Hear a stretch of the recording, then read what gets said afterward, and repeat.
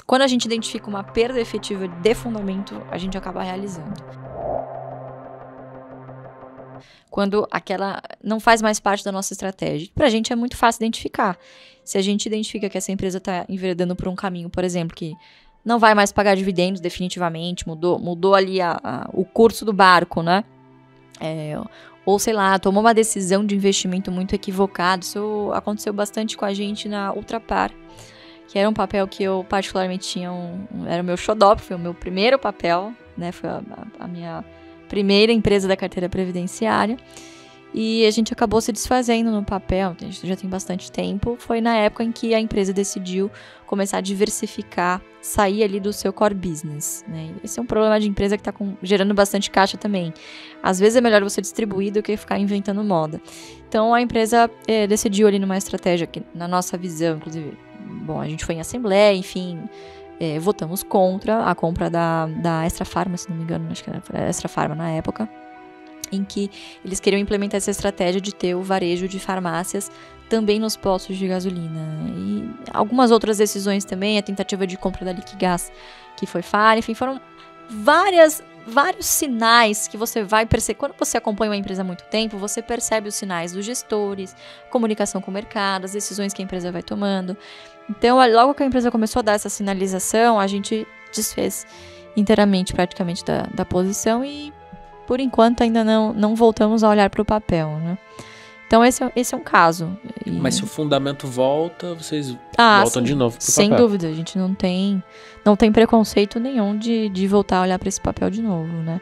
Outro caso também foi a Oi, a gente já teve Oi na carteira, mas assim, há muito tempo atrás também, naquela mesma época em que e esse veja só, foi um erro que a gente incorreu por causa dos dividendos.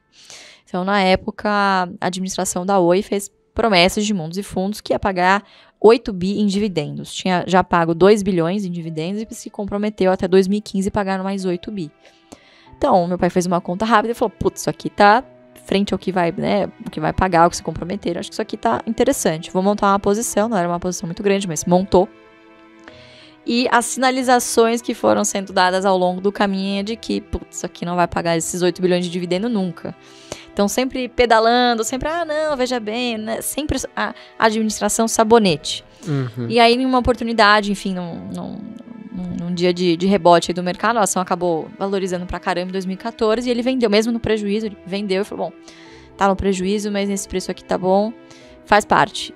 E que bom, porque assim, de lá pra cá, a gente já viu onde deu, né? Então, paciência. Então, acho que, de novo, essa estratégia, é, estratégia de você ter empresas mais polêmicas, vamos dizer assim, né, que estão no centro das atenções, você tem que medir bastante as consequências de entender se está realmente no seu perfil.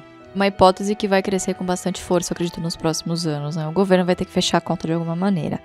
E, o que a gente tem que pensar é o seguinte: tributar o dividendo sem a gente repensar todo o nosso sistema tributário é um grande erro que pode, inclusive, culminar em um, um, um, efeito reverso, em você ter uma queda da arrecadação, né? Por que, que eu digo isso? Obviamente, os agentes econômicos sempre vão se, se, se, se, se mover de maneira a pagar os menores impostos possíveis. Então, grandes empresas, empresas que têm capital aberto, têm condições de pagar um excelente tributarista ali para pensar na gestão né, dos seus tributos ali, de que maneira eu vou pagar menos imposto e continuar remunerando meu acionista. Né? A gente tem que lembrar que um grande diferencial entre bolsa americana e bolsa brasileira é que lá você tem um contingente de empresas, corporations, muito maior do que a gente tem aqui. Inclusive é bastante comum, né? Você tem empresas que não têm controle, de, controle definido. Então você tem ali uma base acionária bastante pulverizada. Geralmente, esse tipo de base acionária prefere que os ganhos sejam transferidos para ganhos de mercado. Geralmente são fundos institucionais, enfim, que não se importam muito com o fluxo de dividendos. Uhum. No Brasil é justamente o contrário. Você tem boa parte das empresas com controle, com um capital definido. Então, isso tem um dono. Então, não só eu, pequena investidora, mas esse dono vai cobrar a sua remuneração. E ele vai encontrar alguma maneira de fazer isso.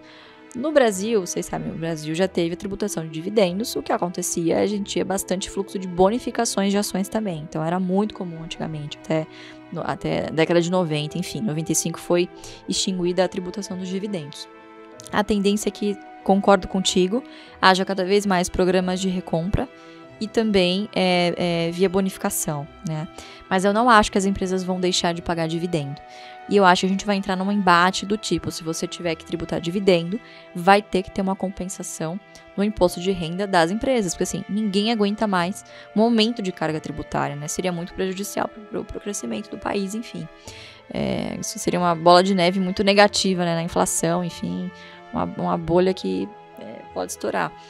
Então eu acho que é, é, é vai ser uma briga boa. Olhando a proposta que foi feita uh, anteriormente, que também não era boa, que era justamente você só dar uma, um, um martelaço lá de 15% nos dividendos, basicamente o que aconteceria na prática para o investidor é que é, seria extinguido o juros sobre capital próprio e todos os dividendos se transformariam em JCP.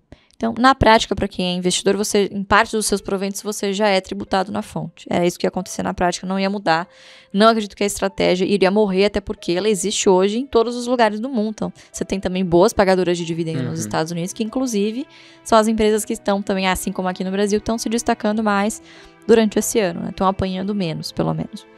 Então eu acho que a estratégia, acho não, tenho certeza, tenho, tô convicta disso de que a estratégia não morre, mas obviamente você vai ter um sócio a mais ali comendo alguma parcela da sua distribuição de dividendo, né? Mas de novo, eu acredito na, no potencial, na criatividade das empresas de remunerar o seu acionista, acho que a bonificação também é uma excelente maneira de fazer Bacana. isso.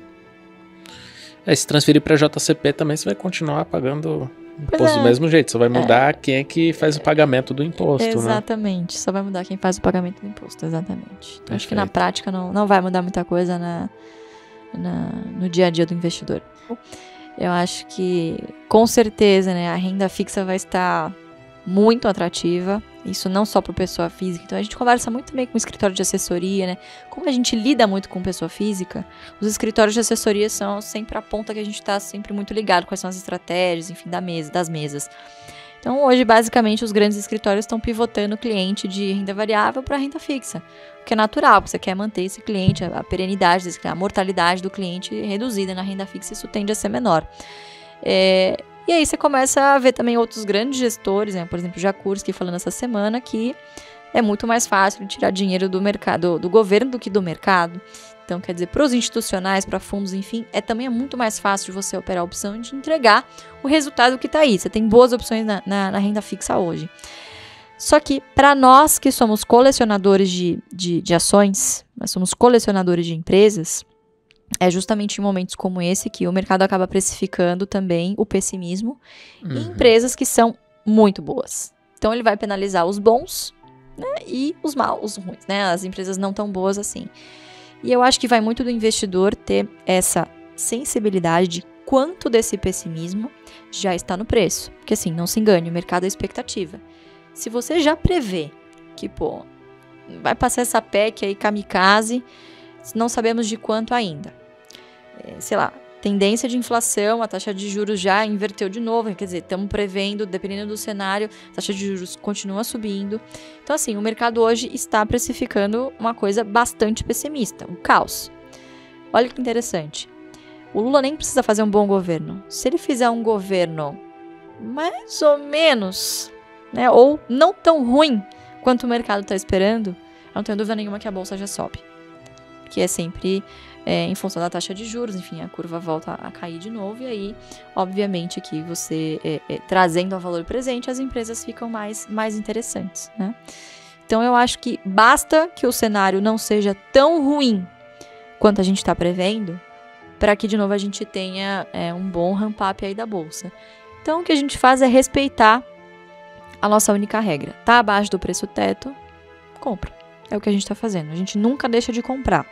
A diferença é saber calibrar, obviamente, é, a velocidade com que você vai fazendo isso. Né? Uhum. Então, sempre tentar não torrar o seu caixa todo de uma vez, que é muito tentador. Então, pandemia, no terceiro circuit breaker, eu já tava, meu Deus, preciso lançar put inteiro, já não tinha mais o caixa. E quando é que caiu de vida no banco? Nossa senhora, tá uma loucura. Então, você saber fazer essa dosagem do seu caixa, nesse né, manejo, também vai ser muito importante. Mas quem investe em ações, não deixar de comprar, não desistir. É, a gente já está vendo excelentes oportunidades, né? Então você vê aí, porra, bancos, né? o pessoal tem, tava com uma expectativa, puta, taxa de juros sobe, banco lucra pra caramba. O que aconteceu foi justamente o contrário, né? Você tem um efeito primeiro de provisão. O Bradesco teve uma queda aí recente de, sei lá, pior queda desde 98, alguma coisa assim, tava vendo, lendo em alguma matéria. E você fala, cara, será que tá tão ruim assim? Ou isso é o excesso de pessimismo falando mais alto e fazendo preço? Se esse for o caso, tem que comprar, é uma boa oportunidade. Só que aí, obviamente, você tem que saber que você está abrindo é, mão de uma rentabilidade pré-fixada hoje para ter o potencial de você multiplicar isso muitas outras vezes daqui 3, 4, 5 anos. Então, se você não tiver esse perfil e você estiver satisfeito com uma taxa pré-fixada de 13, 14%, o caminho natural, e acho que a grande maioria dos brasileiros se encaixam aí, vai para renda fixa. E aí as ações, né, como diria Warren Buffett, voltam para as mãos dos seus verdadeiros donos, né? E é o que a gente vai continuar fazendo. Né? Acredito que agora comprando com, com mais, mais intensidade do que a gente fez ao longo desse ano aqui. Geralmente a gente quer ter 100% numa ponta e aí vender no pico e aí, pum, aí vou para a máxima oportunidade. Nem sempre isso é possível, né? Então se você tem, de novo, uma caixinha do curto e médio prazo, pô, para a sua reserva de oportunidade, reserva de emergência, excelente, né? Você vai rentabilizar bastante esse seu caixa. Se você tem algum objetivo de médio prazo, por exemplo, quero comprar, construir uma casa, começar a construir uma casa daqui três anos, quero fazer um intercâmbio, quero, tenho o planejamento de casar. Se você tem algum planejamento, algum objetivo a ser cumprido numa janela de três a cinco anos, eu tenho um, um, esse recurso já tem um destino definido, não, não pensaria duas vezes. Vai para renda fixa e seja Perfeito. feliz. Agora, se você tem aquele dinheirinho que sempre sobra, você larga na poupança, você contribui ali religiosamente com aquele fundo de previdência vagabundo, que daqui 10 anos não vai te render nada, faça isso na bolsa. Eu não tenho dúvida nenhuma que dinheiro de longo prazo na bolsa é a, a, o maior potencial, é o exponencial de você multiplicar o seu capital.